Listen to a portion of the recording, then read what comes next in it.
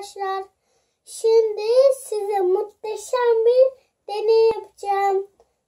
Gerekli malzemelerimiz iki yumurta, bir tane tuzlu su, bir tane de sade, bir tane su.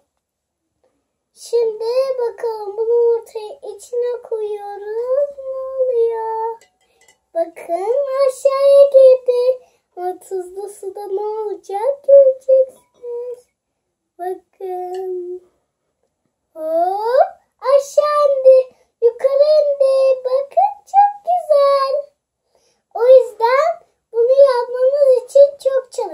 lazım.